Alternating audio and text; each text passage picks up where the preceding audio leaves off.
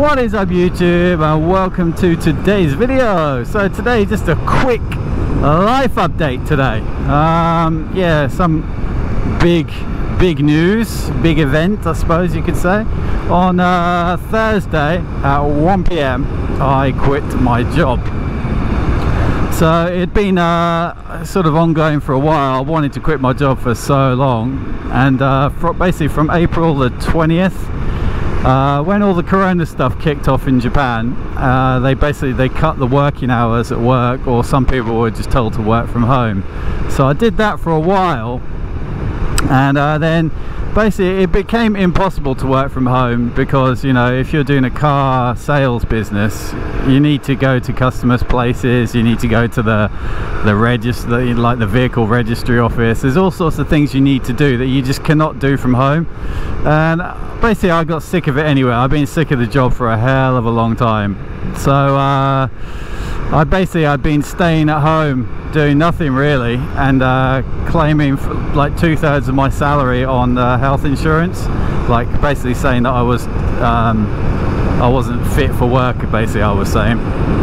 So yeah I've been doing that since the end of April and work had basically just you know they were totally pissed off with that like they they sort of knew that I was kind of pulling their leg kind of thing.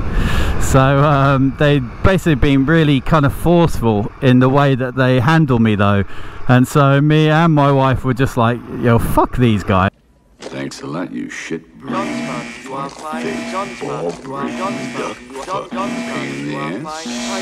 for repeated violations of the verbal morality statute. So much for the seashells. Yes.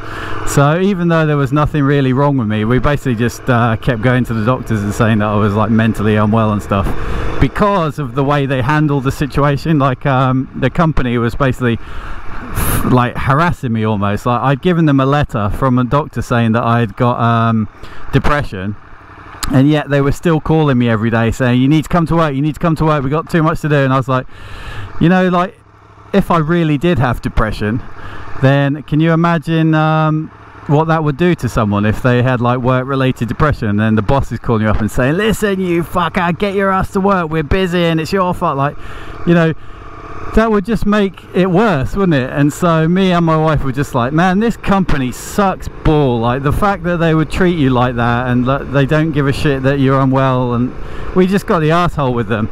But eventually the harassment got so bad like they were just like just quit just quit. And I wasn't gonna I was just gonna keep dragging it out a, a, bit to kind of teach them a lesson. But I actually found out that I would get more money if I quit. So but anyway forget that I'm not going to be a benefits fraudster. But anyway so I, I went to work at 1pm on Thursday and handed in my notice. Check out the tits on that. And then when I was leaving I was like, well, I've got nothing else to do today. Still got a long time to go before I have to pick up my daughter. So I was reading my old text messages and I got a message from an ex-girlfriend of mine saying, there's a bike shop that's hiring. Why don't you go for an interview? So I decided I would just go and check out this bike shop and see what it's like. So I wasn't actually planning on going for an interview. I was like in my jeans and my bike jacket and stuff. So I wasn't exactly interview ready but uh, I had my resume with me because in my uh, bag that I took with my resignation letter in I had all my important documents and uh, my stamps and stuff like that. So I thought well I'll just go and look at the bike shop and see what kind of vibes I get from it. Like if, if they're a bunch of dicks then obviously I'm not going to apply but if they're a really cool place cool shop I thought oh, I'll, I'll just mention to them by the way I'm looking for work so that's what I did basically. I went there uh, talked to the mechanics downstairs for about 20 minutes and then I was like actually yeah I like this place. So I said to them yeah you know I'm actually looking for a job. And the mechanic goes wait there and I'm gonna go and get the boss. So he called the boss down. The boss like talked to me downstairs for about a minute and then I think we basically I, I, I liked him straight away and I guess he liked me straight away and he goes come upstairs let's go and have a proper chat. So we went up to his office talked for about an hour and about halfway through the conversation all of a sudden he just broke into English and I was like oh you, you speak English? Oh Teriyaki Boyz. Fast and furious baby. So yeah he goes yeah I speak English. I lived in Australia for um, eight years. And he goes in fact I even started this business in Australia on the Gold Coast. And then I moved back to Japan and la la la la la. I was like oh no way. That's awesome and uh, basically we we chatted and we had a lot of um, stuff in common a lot of weird coincidences. Like he knew some of the people that I'd worked for in the past and he's into classic cars as well. And he's got a Ferrari and like you know he's just a really really cool guy. And uh, yeah basically after that conversation finished we went downstairs again and then he got sort of interrupted by a customer. So I was just hanging around outside looking at the bikes and stuff. And then he goes to me so um, yeah, you're welcome. I was like, what, what, do you mean you're welcome? He goes, yeah, if you want a job, then yeah, you're welcome to join. So, oh, no way. I was like, dude, I quit my job like two hours ago and already I've got a new job. And he goes, yeah, why not? And uh, basically he just said to me, well, go home and think about it, discuss it with your wife and stuff, and uh, just get back to me. And he goes, um, you don't even need to like call me or anything. I've just, I've got uh, WhatsApp, so you can just send me a message and if you've got any questions, I'll answer it on there bloody hell this is a progressive boss. So yeah so right now the uh, trouble is the working hours are 10 till 7 and no weekends off. So I'm not basically I'm not I've not said yes yet because uh, my daughter's still only four so she goes to nursery.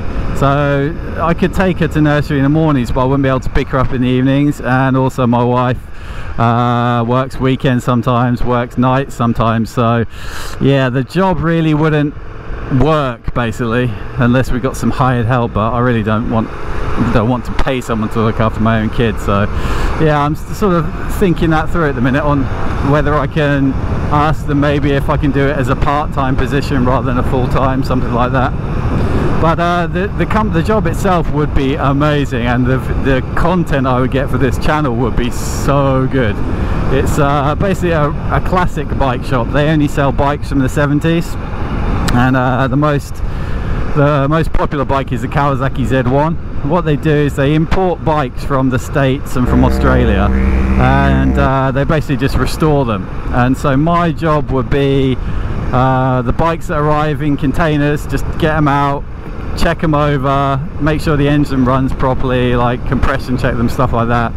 If the engine's okay then no overhaul no rebuild on the engine. But basically everything else on the bike has to be restored and put to original factory condition. So basically once the engine's confirmed get get the engine out get the swing arm off get everything off the bike basically till it's a bare frame then get it painted then everything else rebuild the forks rebuild the calipers rebuild the master cylinders all that sort of stuff and get everything looking in perfect condition so it looks like it's just come out of the the showroom from 1970 so that's basically what they do. It's all um, original condition bikes. So yeah basically I'll just be a mechanic doing re restorations. And um, yeah I, the, the bikes are ridiculously expensive but they said they're so busy they don't even want um, to, to, promote the business anymore. I said to them, oh, I can do your YouTube videos, I can run your Instagram, I can run your Facebook.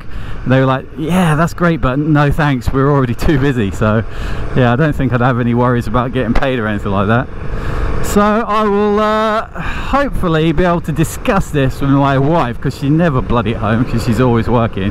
So I'll see what she's got to say about it. But I think the only way it could work really is if I could do it part-time or instead of finishing at 7pm they'd let me finish at 6pm so I could pick up my daughter. But yeah I'm not really sure.